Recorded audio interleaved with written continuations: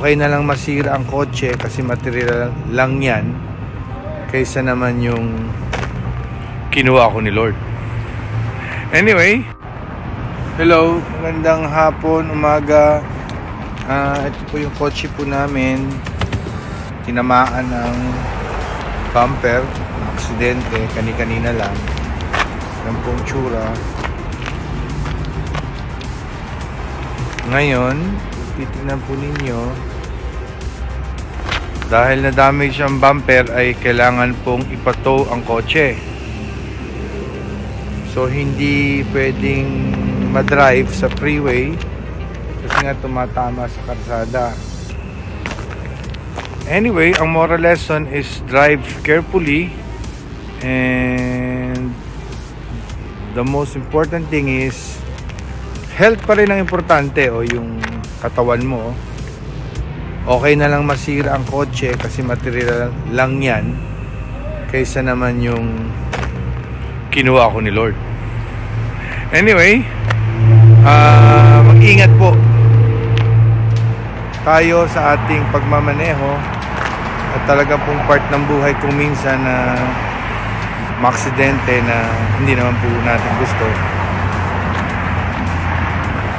Diyan po nangyari yung aksidente sa highway na yan paglabas.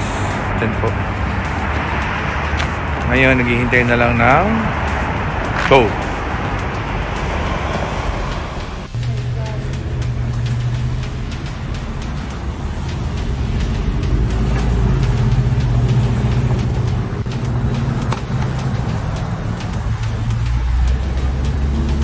So the car was hit here website.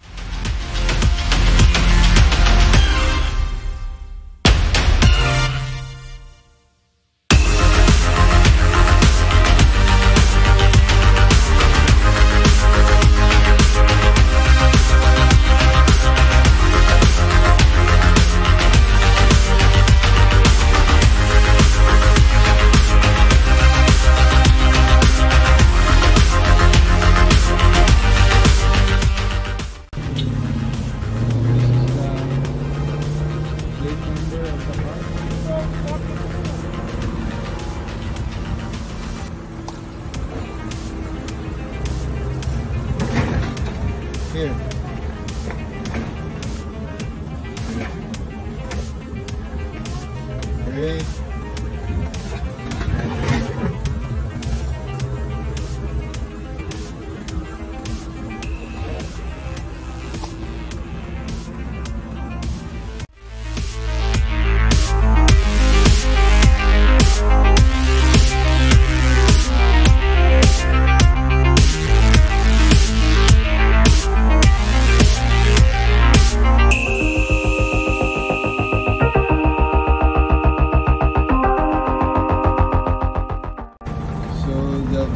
This the side